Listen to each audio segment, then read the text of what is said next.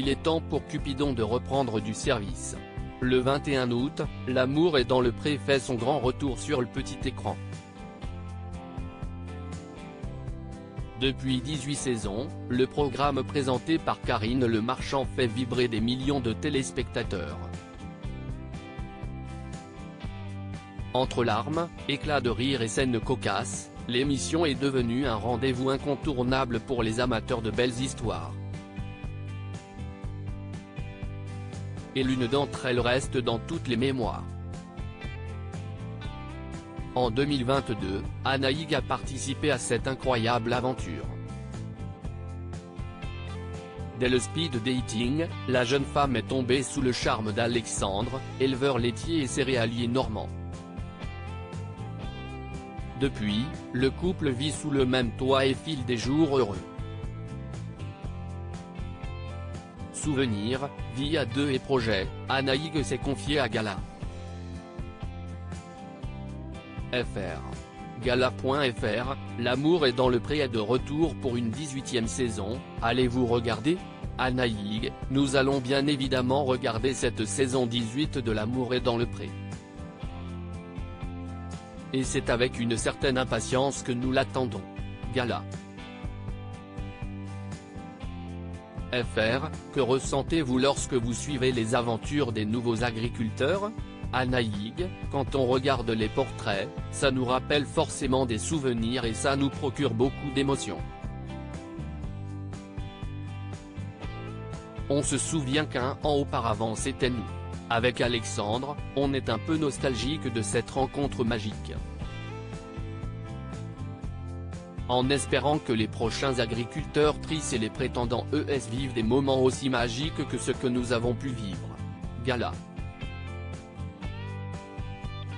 FR, comment vous êtes-vous retrouvé dans l'amour et dans le pré? Anaïg, concernant mon passage dans l'émission, je la regarde depuis des années. Je regardais l'émission avec une copine lorsque je suis tombé sur le portrait d'Alexandre. Je l'ai trouvé drôle et ce qu'il disait sur ses envies de couple me correspondait. J'ai donc décidé d'écrire. Au départ ce n'était pas vraiment sérieux. Et quand la production m'a appelé, je ne savais pas vraiment comment réagir. J'ai décidé de me lancer dans l'aventure car je me suis dit que je n'avais rien à perdre. Gala.fr, quel est votre meilleur pire souvenir? Anaïg, notre meilleur souvenir reste notre voyage en Grèce. Nous avons appris à nous découvrir dans un cadre magnifique et nous avons construit nos premiers souvenirs. Après, je ne parlerai pas de pires souvenirs mais il est vrai que je me suis senti plus à l'aise lorsque j'étais seul avec Alexandre. Être deux prétendantes n'est vraiment pas confortable. Surtout quand nous n'avons pas la même vision des choses et que l'autre prend beaucoup, voire toute, la place. Supérieur à supérieur à l'amour et dans le pré, ces couples mythiques sont-ils toujours ensemble? Avec Alexandre, nous trouvons notre rythme petit à petit gala.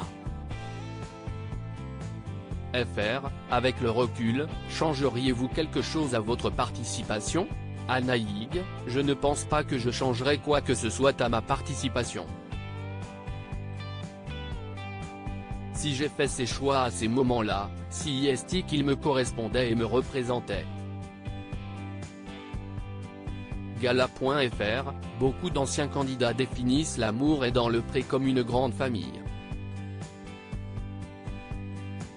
Êtes-vous en contact avec d'anciens candidats? Anaïg, nous avons rapidement eu des échanges avec d'autres candidats sur les réseaux sociaux mais personnellement je n'ai rencontré que deux, Guillaume et Noémie. Je dois avouer que le fonctionnement d'une ferme de vaches laitières ne permet pas de partir en voyage puisqu'il faut s'en occuper tous les jours.